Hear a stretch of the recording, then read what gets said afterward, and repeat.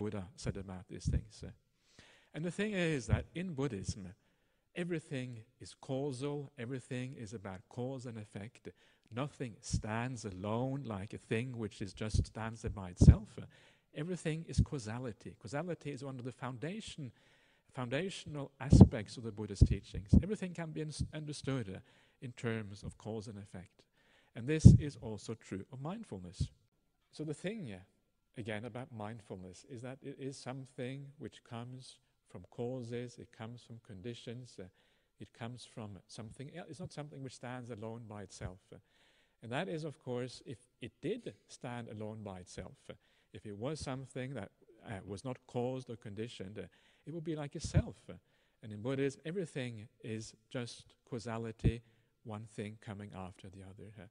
and the same thing is true of mindfulness. And there is two types of causes I want to talk about, uh, two, two ways of looking at this causality. And one is what I would call the uh, far off cause for mindfulness, that which brings mindfulness in the long run uh, for somebody who practices the Buddha's teachings. Another one is what I would call the immediate cause for mindfulness. And the immediate cause for mindfulness uh, is a sort of thing that you can do on a retreat right here and right now. But first of all, just a little bit on the kind of far cause for mindfulness. And mindfulness is, in the suttas, it is one of these aspects on the path. And when you look at the path overall, the one thing which always comes before mindfulness is morality, virtue. It is the one thing which is always there before mindfulness. In other words, if you want to have mindfulness, the only way you can do that is if you live a virtuous and good life. And for all of you, it is something that you can maybe see now during your meditation here at Jhana Grove. Look at your mind and try to see the connection between the state of mind that you have here uh, and the things, uh, some of the things that you have done in the past. And sometimes when you look into the mind, you will see that sometimes you get joy or happiness coming up. Uh, and very often that will be connected, or sometimes it will be connected with a good act that you have done in the past. Sometimes you may feel a little, little bit more sad or a little bit more dark, and very often you will see that that is connected with a bad act, something you've done in the past, which maybe wasn't quite as good as it should be. Yeah? So you will start to understand the causality of how you live your daily life, uh, how that influences your ability to meditate when you come here to Jhana Grove. And of course, of those acts that you do at home, uh, you're talking about particularly about speech and about actions. Uh, and the more you purify those speech and actions in your daily life, uh, the more powerful your meditation will be uh, whenever you go on a meditation retreat. Uh. and it's very obvious why that is when you think about it. The reason why that works uh, is because when you live a good life, you basically feel good about yourself. You feel happiness. There's a natural sense of gladness, of lack of remorse inside of you. The more good actions you do, uh, the less bad things you do, uh, the more natural, the more easy, the more light, the more pure, the more bright, the more beautiful is your mind. It happens as a natural consequence. And you can see that. If you look carefully, uh, you can see that happening inside of you. Uh. And then you start to understand the cause and effect between virtue and mindfulness. Virtue and being able to be in the present moment. When you feel good inside of you, you want to be here and now. Because when you feel good inside of you, it's, it's happy to be in the present moment. You feel good about being in the present moment. If you don't feel good inside of you, if you feel sad about something or bad about something, then it is painful to be in the present moment. You don't want to be here. And because you don't want to be here, you will fantasize, you will think about the past, you will think about the future, and you don't really want to be here and now. Huh? So it's very obvious how this works virtue and meditation, morality and meditation always goes together here. And one aspect of virtue that you also need to take into account as a Buddhist uh, is what we call mental virtue, the virtue of the mind. Uh, and that relates uh, first and foremost, of course, to uh, avoiding anger as far as possible, because anger is this big demon which takes away so much happiness from us uh, and causes us so much trouble in life. Uh, and again, you will find that your mind becomes much brighter if you're able to move away from those negative mental states and move towards more positive ones. Again, this is also part and parcel of the Buddhist practice. This comes under, if you like, loving kindness meditation and compassion uh, meditation. And when you do that in your daily life, you will see how all this builds up uh, under the mindfulness. And when you come here next year, uh, you will see that your mind is much brighter. It has changed. Something has actually happened uh, because you have been practicing rightly. Uh, gradually, gradually, gradually, things move in the right direction. Uh, it's a very powerful thing when you see that. It actually works. It's not easy. All of these things, all things which you do where you have to change, where you have to become better, you have become more pure, always difficult to do. It's never easy to change, but it's very, very, very worthwhile. I would say it's the only worth, really worthwhile thing to do in life. Everything else is just superficial, it's not going to get you anywhere. This is where real, something really inside of you is happening, something really worthwhile, where you are actually changing. You're building up a better person, a more powerful person, a, a better heart, more compassionate, more caring, more mindful, and you feel so much better about yourself. Uh, and the people around you also feel so much better in your presence. It's a wonderful thing to do. For me, it's really the only worthwhile thing to do in one's whole life. So that is the far off cause. And reflect on that during this retreat uh, because you will come to get a better understanding of the Buddhist path uh, and about how meditation is fueled by other causes. Now, the nearer what you can do on the retreat here and now to establish mindfulness, uh, the first thing that I was mentioning before is to make sure that you just learn to relax, to take it easy, to enjoy yourself, not to push yourself, and allow the mind to find peace all by itself.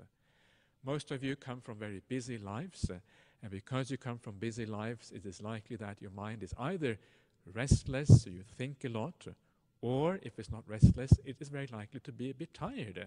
I can see somebody uh, uh Uh, yawning a bit here, which is good, uh, which is perfectly fine. Uh, and that is good. Allow yourself to be tired. Allow yourself to be restless. Don't fight these things. Uh, allow them to be. Uh.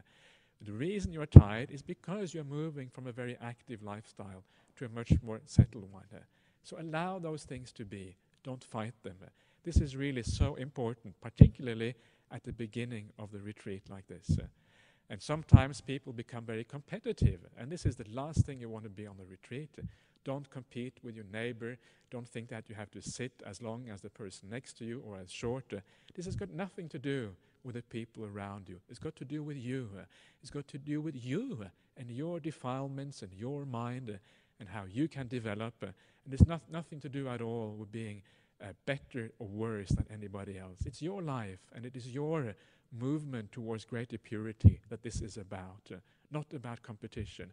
So we have to get out from that worldly state of mind where we are competing with somebody. This has nothing to do with competition whatsoever. You can sleep for the whole nine days, uh, and maybe that's okay for you. Maybe that's the right thing for you to do. Uh, and if you do, you don't have to compare yourself to anybody else, even if they sit here uh, 24 hours a day for seven days. Uh, you have to do your own practice and practice for yourself. And the way this is the nice thing about the way the Buddha talks about this in the sutras. Sometimes we think about our practice, we say, okay, have I attained the first jhana, the second jhana? Have I got insight into nama rupa paricheda jnana, and all these kind of things? And it, Buddhism is often divided up and subdivided into all these kind of categories and all these kind of things. And Buddhism is divided up into all these uh, insights and all these samadhi things. And sometimes we think that to be able to actually practice properly, we have to attain some of these things. But don't look at attainments.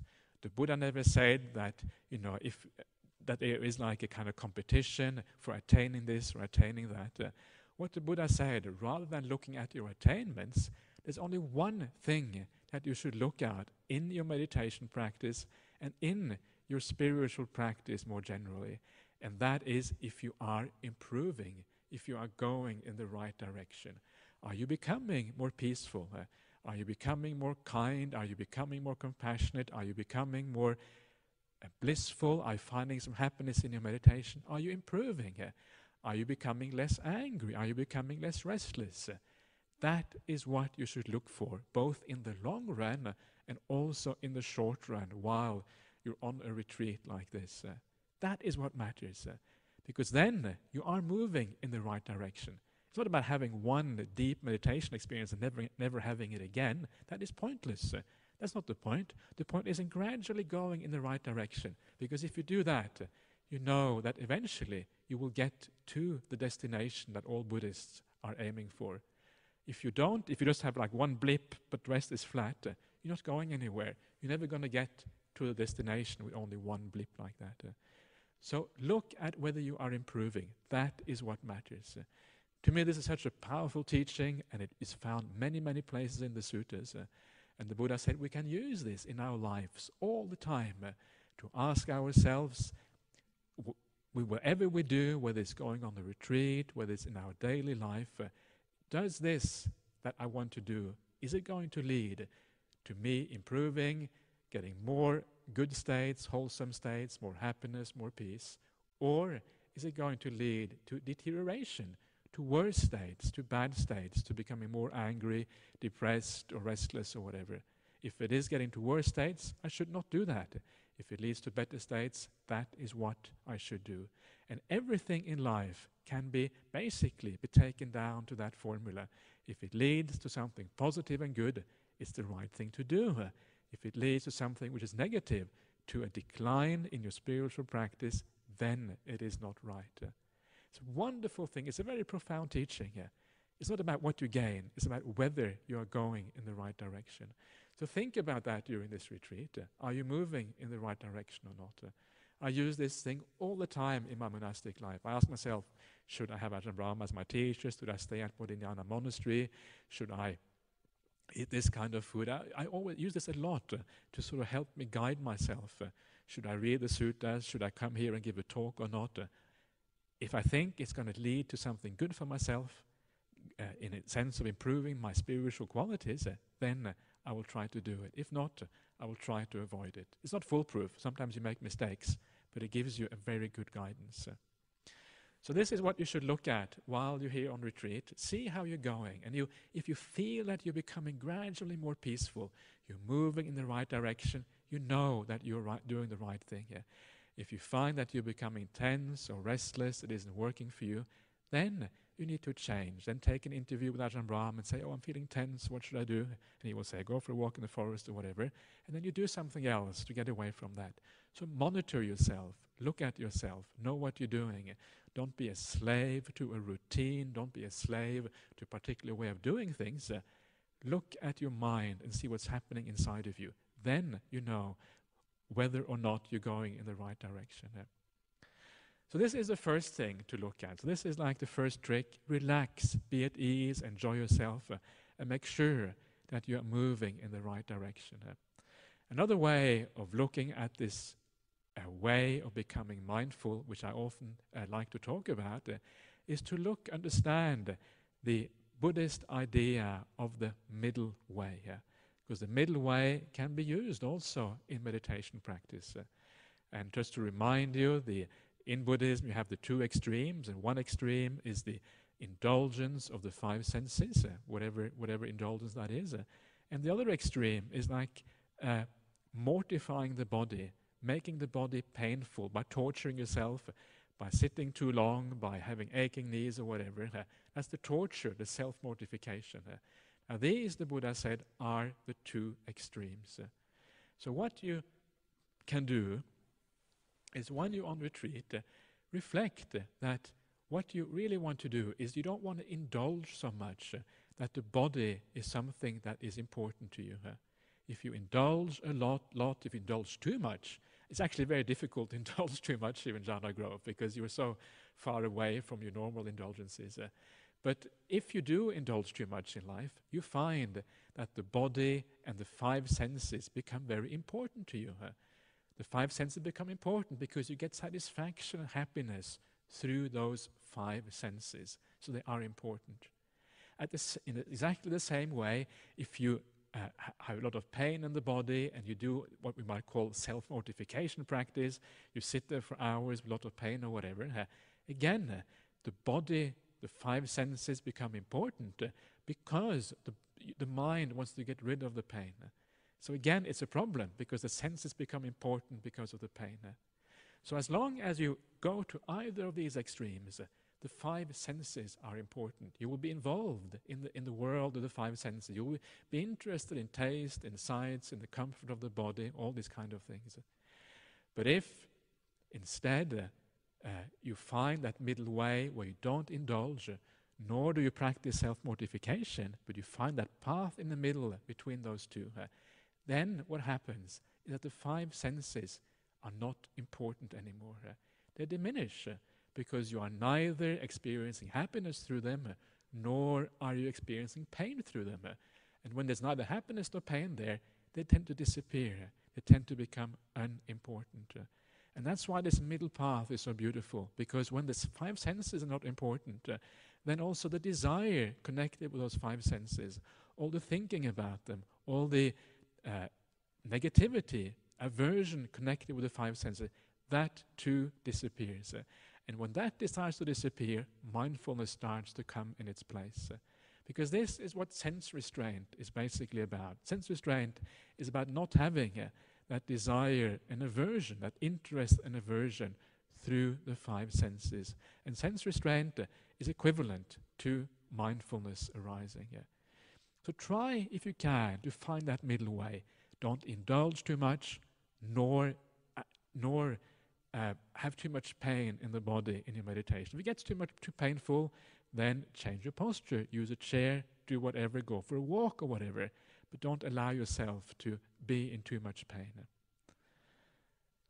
And then, hopefully, that will be one another beautiful way of actually uh, finding that balance uh, and forget, allowing mindfulness slowly, slowly to arise. Uh, I also say that if you have any doubts about whether uh, you are you are being too strict with yourself and you have too much pain, or whether you have too much indulgence, uh, it's better to err on the side of indulgence. rather have a little bit too much indulgence, uh, rather than having too much pain and too much ascetic practices. Because too much indulgence, at the very least, uh, all, it all that happens is you feel maybe a little bit dull or you drift off a little bit.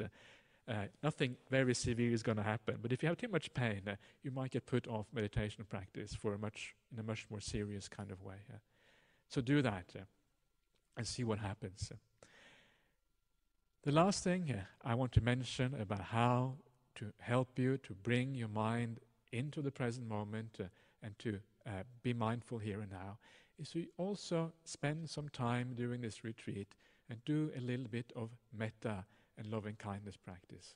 It's such a powerful way of bringing the mind into the moment. It's very important uh, on a meditation retreat like this. Uh, and there are re- many reasons why it's important, but it's particularly important because with a group like this, uh, you are living quite close together, even though you have individual rooms, which is a great luxury for most compared to most meditation retreats. But still, uh, when you are together with a large group like this, it's very easy to irritate each other a little bit and to get a little bit upset about this and that. Uh, and then to do a little bit of metta, a little bit of loving kindness towards each other, uh, helps you so much in stopping that stupid mind which always tends to find fault and always be negative about things. Uh, and actually, you can appreciate uh, your fellow meditators rather than being negative about them. Uh. So try every day to do at least a few minutes of metta practice. Remind yourself of all the good people who are here with you. Remind yourself how wonderful it is that people are willing to give up their time to come to a meditation retreat and just be here practicing eight precepts, doing what is good, trying to become better people. How amazing it is to be in a group of 60 people like that, and how difficult it is uh, to find such people in the world. And even if they do something stupid or irritating, uh, it's irrelevant compared to the goodness of the heart uh, that is coming from these kind of people. And the more you dwell on the positive, the more you see the goodness, the more you see the positive qualities, the less likely you are to find fault uh, and to get irritated by small and really irrelevant things. Uh. So make sure that you do that. And just remember that metta, what is metta? What is loving kindness? And loving kindness is just that. It's just the focusing on the good qualities in people around you rather than seeing the negative qualities. That's really all it is. Uh. And the only way that you can have a sense of metta is by focusing on the good qualities. If you focus, if you see, if you have a very negative view or idea of another person, it's impossible to have metta towards that person. You have to be able to see the good qualities in people. So if you do uh, your metta meditation, uh, the most important thing for you to do uh, is to bring, first of all, to mind somebody you have a very positive perception about, somebody who you see wonderful qualities in, somebody you don't really have any negative perceptions about. That can be anybody, anybody who inspires you. Maybe for some of you it might be Ajahn Brahm. For some of you it might be an uncle or an aunt that were very kind to you when you were a child, or maybe a grandparent or, parent or something like that. Uh, for some of you, it might be maybe a completely different spiritual teacher. For some of you, it, it can be anybody basically, but somebody where you see the good qualities more than anything else. Uh, and then you can also polish up uh, that meditation object by reminding yourself, thinking about the good qualities of this person, uh, and reminding yourself of them. Uh, and then when you start to feel inside of you this good feeling, when you actually it's always very nice when you see the good, good qualities in somebody else. It feels very good inside. Uh, that is when you can allow metta to arise uh, and you can wish them well. Uh. And remember that when you wish somebody well in your metta practice, you say to yourself, May you be well. The most important thing is that you really mean that. It comes from your heart. You really, really want that other person to be happy. And when it comes from your heart, and it is that has that beauty, beauty, beautiful quality coming together with it, then it is so powerful. And it usually gives rise to a very nice feeling inside of you. So try to do that every day, and you will find if you can do that, uh, if you can help yourself to develop a little bit of metta every day, uh, mindfulness will also become much, much more powerful during this meditation retreat. Metta is a guaranteed way of getting strong mindfulness. Uh. It says in the suttas that for a person who has real metta, the meditation is so easy. Samadhi comes automatically if you have real metta. And also, it stops you from the fault finding mind of the people around you. Uh. So have metta for everybody, everybody here. Uh, but start off with a person who it's easy to do it with. Uh. You can also, as it explains in the sutta, sometimes in the suttas, it is said that you don't really have to have metta towards a particular person. Uh, you can just have metta for a certain direction. You think of everybody to the east of here or to the west of here, all the people out there, all the animals out there, and you think about how, how, vulnerable all those people are, how much suffering they have in their life, uh, and how everybody wants to be happy. Uh, or about the kangaroos in the forest who are so vulnerable to the cold and to the heat and to the rain or whatever. Uh, they also want to be happy. They want to be free of suffering, but there's so little they can do about it. They're basically, they have to live a life in pain, uh, even though they're very cute and furry. Uh, and still, they have to live this life of pain out there in, in the wild. Uh. It's very difficult to live in the wild. Uh. And when you bring up perceptions like that, uh, you can have a sense of uh, kindness and compassion towards all these creatures, whether humans or animals. and again, you wish them all well. Sometimes, if you think about all the people in the western direction, the beautiful thing about not thinking about anybody specific uh, is that you can just make up something in your mind, uh, something which is not. Uh, if, you, if it is a specific person, it's always possible to find fault. Uh, if it's somebody completely made up, uh, you can make a person which fits your idea of compassion perfectly. all the people in the West, uh, all those people who are suffering, vulnerable to all the ups and downs in the world, we all know everybody's vulnerable to the ups and downs in the world. Everybody wants to be happy. Everybody wants to have compassion and kindness in their heart. Uh, everybody knows uh, that if you are kind, you will be happy. And yet, uh, it is so difficult sometimes to be kind. It's so hard to practice the right way. Uh. all those people, may they be happy out there. Uh. may they uh, find that freedom from suffering in their life. So, that is just a few uh, ideas about how to uh, develop your meditation while you're here. But the most important thing is that you just enjoy yourself. Uh, you have a good time and make sure that you relax and have it easy. The first few days are important just to relax, get into the routine, uh, and just uh, allow your mind to brighten up uh, all by itself. Uh. So I'm not going to talk anymore. I think that's plenty here. Um,